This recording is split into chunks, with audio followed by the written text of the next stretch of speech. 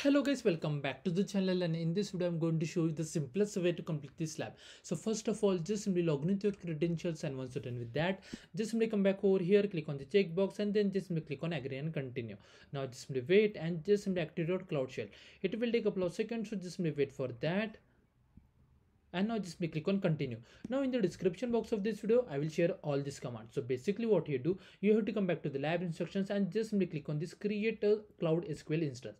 Just simply click on this task. Now from here you can see this region. So just simply copy this region carefully copy like this come back over here and just simply paste over here like this way. And make sure that there is no extra space after equal to.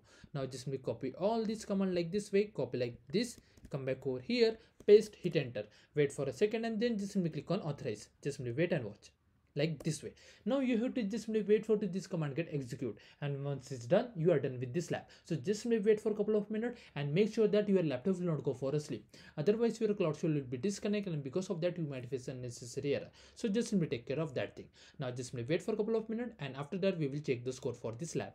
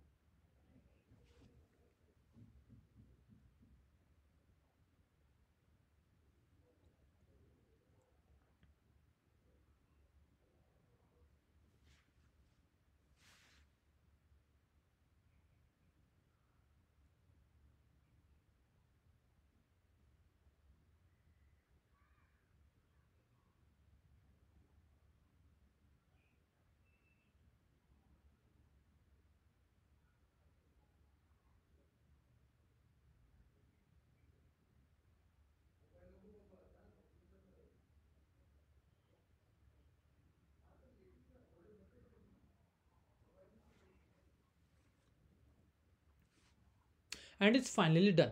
Now if we just simply come back to the lab instructions and click on the check my progress for each and every task you will get a green tick over here without any issue. Just simply wait and watch. Just simply scroll down. Now just simply click on this check my progress and it's done. Now again just simply scroll down. Click on this check my progress. Scroll down a little bit and it's done. And that's the way we have to complete this lab. If you still have any doubts please do let me know in the comment section. Thanks for watching and have a good day guys